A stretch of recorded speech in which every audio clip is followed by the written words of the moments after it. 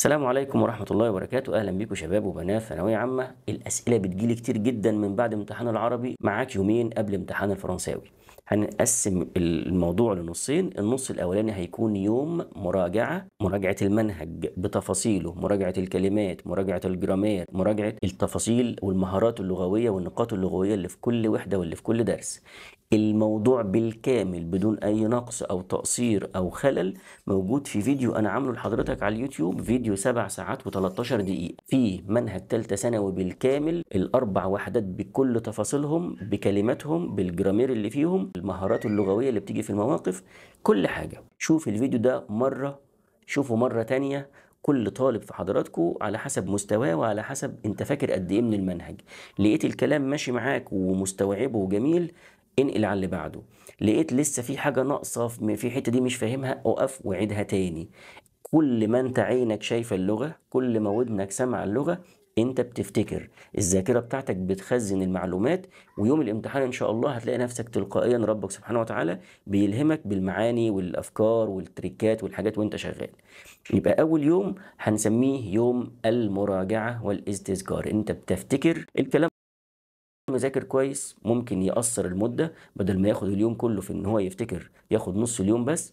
اللي كان مقصر أو اللي عنده نقص في وحدة معينة في دروس معينة مش فاكرها أو في دروس معينة ما ذاكرهاش ده اللي هيركز شوية وممكن يشوف الفيديو مرة واتنين. وما انساش أقول لك ان الفيديو فيه تطبيق وحل وبجيب في كل جزئية بشرحها لك. بقول لك الجزئية دي بتيجي في الأسئلة أو بتيجي في الامتحانات فين بالظبط وإيه نوع الأسئلة اللي بيجي فيها. بتيجي في الجرامير إزاي تيجي في المواقف إزاي تيجي في الإيميل أو ممكن تيجي في الموضوعات إزاي تيجي في الوثيقة الأولى أو الوثيقة الثانية إزاي. كده النص الأولاني. النص الثاني هو الحل والتطبيق. مفيش حد بيدخل امتحان ثانوية عامة إلا لما يكون حالل الامتحانات الثانوية الرسمية للسنوات السابقة.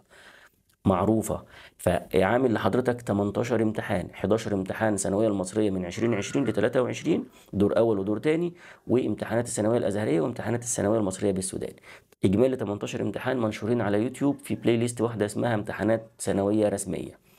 وناشر لك ال PDF بتاع الامتحانات دي تقدر تنزله وتحل منه ونزل ومنشر لك كمان ال PDF بتاع نماذج إجابات تلك الامتحانات. يبقى يا إما تنزل ال PDF وتحل الامتحانات مع نفسك وبعدين تشوف الفيديو بتاع الحل علشان تراجع تاني وتشوفني بحل إزاي. وبرضه هنا الكلام بالنسبة للناس اللي مش عارف يحل قواعد. شوف المدرس بيحل إزاي عشان تتعلم تحل زيه. مش عارف أحل مواقف. شوفني بحل إزاي عشان تتعلم تحل تحل زيي. مش عارف أحل الوثيقة. مش عارف أكتب الإيميل والموضوع. أنا بكتب الإيميل والموضوع قدامك على السبورة. اتعلم وشوفني بتعامل إزاي مع السؤال وكذلك أنت هتقدر تتعلم مني أو من غيري. خلاص؟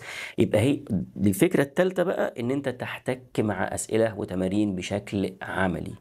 زي إيه؟ أي كتاب امتحانات عندك أي امتحانات شاملة عندك بس يكون كتاب معروف له اسمه بحيث يكون الأسئلة اللي فيه منطقية ومرتبطة بالإيه بالمنهج. مش أي حاجات مجهولة المصدر اللي بيكون فيها اختراعات كتير وأخطاء كتير ومشاكل كتير. خلاص؟